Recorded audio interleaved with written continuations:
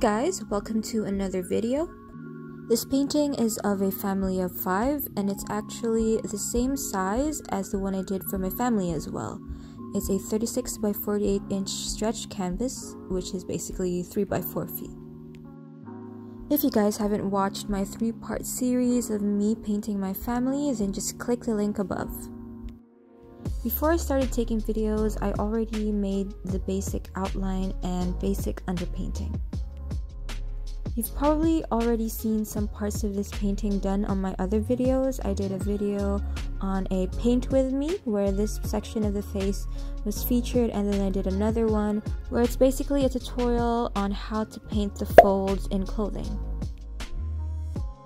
When I first started painting, I actually struggled a lot with painting clothes because I didn't understand how to paint the folds and the wrinkles.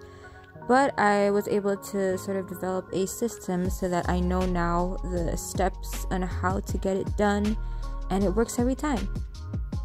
So, this clip right here is a very good representation of how your underpaint, uh, underpaint in this background, can be very important but also not because I just completely covered it up when I decided to change the background because I wanted a different feel. So, yeah. I decided to do sort of like a gradient type of feel where it's brown and then it's yellowish goldish in the middle and then lighter on the left side. Simple backgrounds like this really help the people in the portrait to stand out more and not get covered by the background.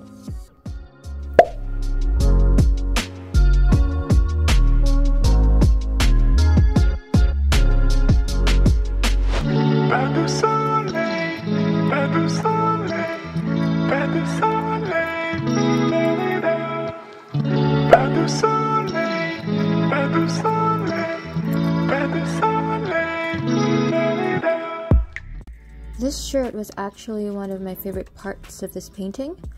When you are painting a shirt with some sort of print or design on it, make sure you set the base first, get all the shading and the folds done before you place the pattern on top.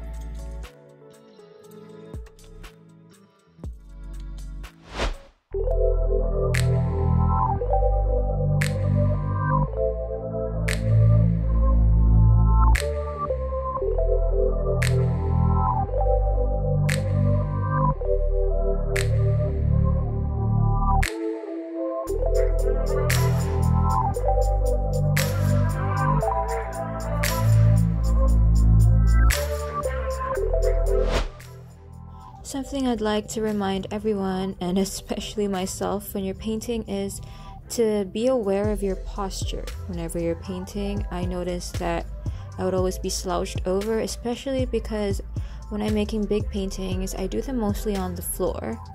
Um, it's just I'm able to move better when it's on the floor. But the thing is, I noticed that my neck um, and my back would start to hurt because I'm always slouched over. So, yeah, just be aware of your posture, do some neck exercises. I do them a lot.